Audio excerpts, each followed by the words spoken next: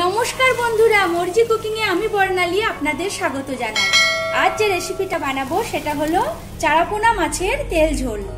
এটা খুবই অল্প উপকরণে আমি করব, আর এটা খেতে খুবই টেস্টি হয়। তো চলুন দেখে নিই এই রেসিপিটা করতে কি কি লাগছে। এই রেসিপিটা বানাতে লাগছে চারা মাছ। মাছটা আমি ভালো করে ধুয়ে পরিষ্কার করে জল ঝরিয়ে রেখেছি। আর লাগছে পেঁয়াজ কুচো, একটা মাঝারি সাইজের পেঁয়াজ, ছোট ছোট করে কুচো করে নিয়েছি। একটা মাঝারি সাইজের টমেটো, ছোট ছোট করে কুচো করে নিয়েছি। অল্প ধনে পাতা কুচো, দুটো কাঁচা লঙ্কা চেরা, সর্ষের তেল আন্দাজ মতো, গুঁড়ো মশলা, ধনে গুঁড়ো, কাশ্মীরি লঙ্কার গুঁড়ো, হলুদ গুঁড়ো, জিরে গুঁড়ো, শুকনো লঙ্কার গুঁড়ো, লবণ ও চিনি। কাশ্মীরি লঙ্কার গুঁড়োটা অপশনাল এটা আপনারা না দিতেও পারেন। আমি কালারের জন্য দিয়েছি। প্রথমে মাছটা ম্যারিনেট করে নেব, লবণ ও হলুদ দিলাম। হলুদ দিলাম। দুটো বিট ভালো করে লবণ ও হলুদ মেখে নিতে হবে। মাছটা ম্যারিনেট করা হয়ে গেছে। ফ্রাইং প্যানে সর্ষের তেল ভালো করে গরম করে নিয়েছি। এবার মাছ দুটো ভেজে নেব।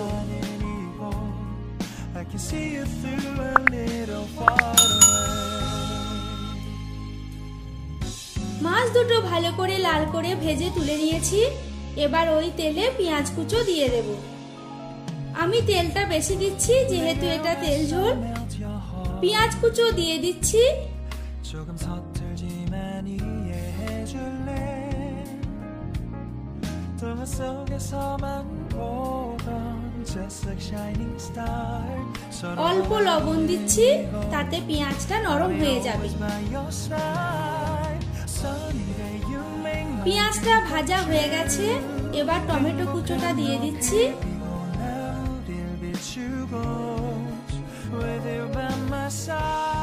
পেঁয়াজ টমেটো ভালো করে ভেজে নিয়েছি তার সাথে সমস্ত গুঁড়ো মশলাটা দিয়ে দিচ্ছি। তার সাথে লবণ ও চিনিটা দিয়ে দিচ্ছি।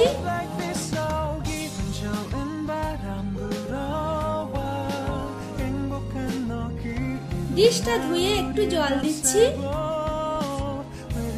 মশলা ভালো করে কষিয়ে নেব।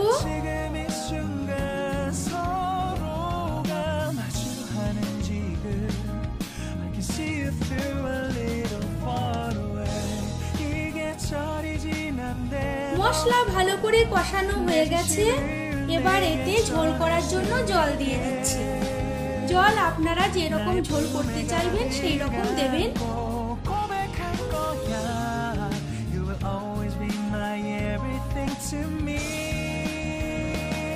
ঝোলটা ফুটছে, চেরা কাঁচা লঙ্কা দিয়ে দিচ্ছি, ভাজা মাছ দুটো দিয়ে দিচ্ছি।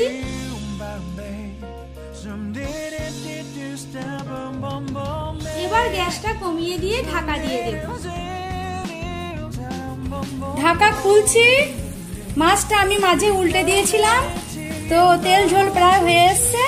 এখন ধনে পাতাটা ছড়িয়ে দেব।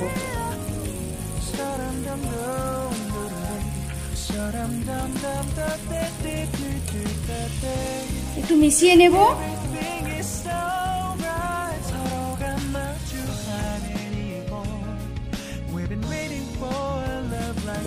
দু মিনিটের জন্য ঢাকা দিয়ে দিলাম, তারপর এটা নামিয়ে নেব। হয়ে গেছে চারা চারাপোনা মাছের তেল ঝোল। এই রেসিপিটা দেখতে যেমন সুন্দর হয়েছে, খেতেও হয়েছে অপূর্ব। আপনারা ঘরে বানিয়ে খাবেন। এই রেসিপিটা যদি আপনাদের ভালো লাগে, আমাকে কমেন্ট করে জানাবেন। তার সাথে লাইক করবেন শেয়ার করবেন ও সাবস্ক্রাইব করবেন। যারা সাবস্ক্রাইব করে দিয়েছেন, তাদের আমার অসংখ্য ধন্যবাদ। আর পাশে থাকা বেল আইকন অবশ্যই প্রেস করে দেবেন। তো আজকের মতো এখানেই শেষ করছি। ধন্যবাদ।